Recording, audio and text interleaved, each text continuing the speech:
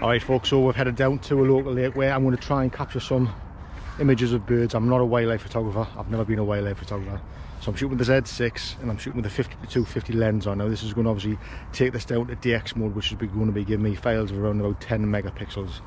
So if the files out of these are good, then the files out of the full frame equivalent will be even better. Um, so yeah, we'll just see what we can get. I'll show you guys the POV. You can see what I'm shooting at. I don't normally shoot kind of with the back of the screen. It's normally up to my eye, but we'll see how that goes. If I'm losing the shots, trying to show you guys what I'm shooting, I'll just pull it up to my eye and take some shots and then we'll review them when we get back home on the computer. So let's see if we can capture some uh, some birds in flight. Should I speed up to birds in flight maybe what? 1000, 1000 and we'll go auto ISO. Just caught him at the last minute. Probably going to be a lot of seagulls, I would have thought. Bouncing around. I'm not used to shooting on the back of the screen. So normally I like having it up in my eye. But uh, we'll see how that goes. Oh. I feel like I'm on a computer game. I'm not even pointing the camera at anything in particular. I'm just trying to get it. To see. Oh, they're getting fed. Look, there's a duck. More seagulls. This is so hard on the back of the screen.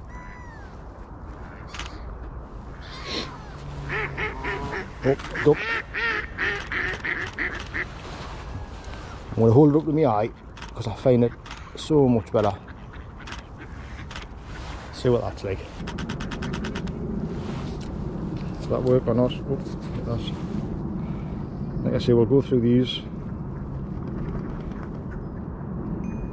Yeah, got there, no bother. Let's try, let's try some subject tracking.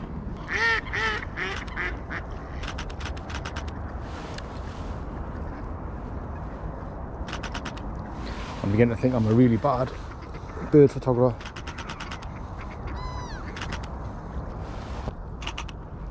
So difficult trying to catch it when you try and catch my own subject tracking if they come back around there's one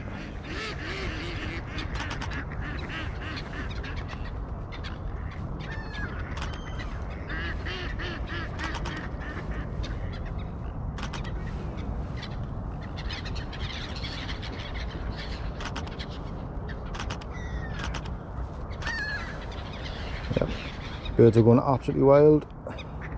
Subject tracking is probably not the best thing to use, but it's doing a good job. Using the subject tracking and just using little bursts of shots is so more effective than just holding it down. It just does an amazing job. Like I'm saying, like a really amazing job. I mean, these are just phenomenal. Well, not phenomenal in terms of bird photography, but for me capturing something in flight is pretty phenomenal. It's just too difficult to try and hold it like that and shoot at the same time. It is really difficult. Let's try auto area AF because I've been super impressed with just sorry I'll come out of that actually. Uh, exit that. I'm just gonna see what it captures because honestly I've spoken about this before in another video how well it actually does. Capture these come round and it has this canny knack of uh, just doing such a good job of capturing the birds in flight. Just in it's picking it itself. So that was just a quick test with the uh, the subject tracking and dynamic area AF two of the modes that I kind of use when I'm shooting birds in flight and then I found most effective what I have found really effective though is when I'm shooting subject tracking. I think actually my preference will be subject tracking from now on um, because it just locks on straight away. Um, and even when it loses focus like following around I don't use it to kind of just frame it up and just let that box follow it around in the frame. I use it almost like a single point but once it locks on it locks on really well and that's kind of reminiscent of the D500 when I used to use that um, the track on that was phenomenal. This has been really good. Obviously trying to hold it out in front of the GoPro so you guys can see is really difficult. But when you hold up your eye obviously the hit rate is so much better. And don't forget about using single point autofocus in continuous mode as well because obviously that's the way I used to always shoot all of the time. Um, and you'll get probably 100% hit rate every single time. So don't forget that neither. Um, we're going to head back now. We're going to have a look at the images on the computer and see uh, see how they've turned out. So I'll see you back in the studio Alright folks, back at the computer where we're going to look through some of the images. Now I'm not going to go through every single image that I shot there, there was quite a few. I did put them up on screen so you guys will be able to see how the camera performed and which images were in focus. But we'll look at a little bit more detail right now. And what I thought I'll do is I'll go through a few shots using dynamic area AF, a few using subject tracking and full area AF to give you guys an idea of how the camera performed. Now these are low res 10 megapixel files.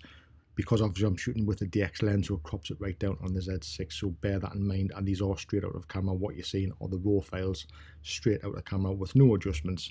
So we'll get started. And we'll go through this first sequence using dynamic area AF as you can see it's missed focus on this first one but then straight away it's grabbed. And we'll wait for the computer to kind of catch up a little bit. You can see that's nice and sharp on to the next one.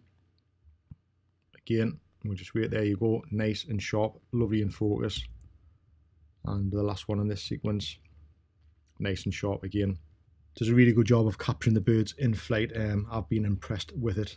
So let's have a look at another sequence. Um, try this one.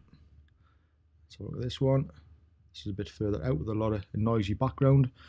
Um, to confuse the camera but it's grab focus there nice and sharp. Coming round again has a grab focus. Yep, it's grab focus on that one too. And the next one, is this one in focus or not? Yep, that's grab focus also. And this one, has it hit this one? Yep, lovely and sharp. And that one, yep. Obviously I'm shooting auto ISO, so the ISO is up and down. So we're looking at a sequence with using subject tracking and you can see obviously it's nailed that shot straight away. If we move through this sequence of shots we'll see how well it does. And yep that one's in focus as well. Next one. Yep grabbed it lovely. Busy background so it makes it more difficult for the camera to focus on. Has this one nailed it? Yep that one's in focus also. This one's coming around is that one in focus? That one's slightly that's focus on the background there. That's out of focus that one's out of focus also. And then it comes back around and it's grabbed on again. And we'll go through that sequence. Yep grab that one also. And it's flying away now and that's lovely in focus. Come back towards me now subject tracking. Yep lovely in focus that one. Out of focus. Lovely in focus.